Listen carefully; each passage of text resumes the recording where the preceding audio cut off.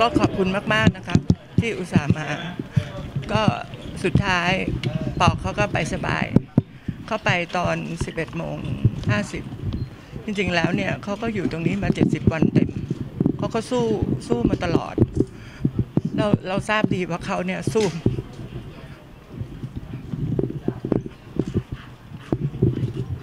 ก็ก็เดี๋ยววันนี้ก็คงเป็นทางโรงพยาบาลนะครับ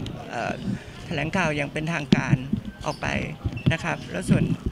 รายละเอียดของปอเนี่ยพรุ่งนี้ก็จะพาปอกลับบ้านที่บุรีรัมย์ไปตั้งส่วนที่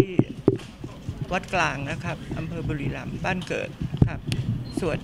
รดน้ำศพตอน4โมงเย็น แล้วก็สวดทุ่มหนึ่ง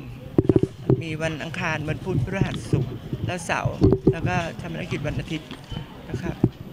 ครับ ส่วนรายละเอียดเดี๋ยวคงตามจากข่าวอีกทีอะครับ ว่ามีอะไรคือต่อไปนะครับ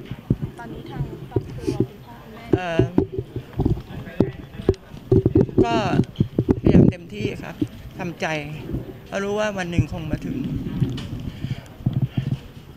ก็ก็สู้กันมาตลอด อดทนกันมาตลอดเขาก็ไปสบายจริงในฐานะที่อาก็ดูแลพี่ปอมาหลายสิบปี ครับ อยากบอกอะไรพี่ปอไหมคะ ๆเออก็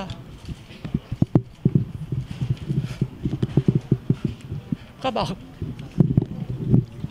บอกไปหมดแล้วครับบอกไปแล้วครับ ครับขอบคุณนะครับ ขอบคุณครับครับ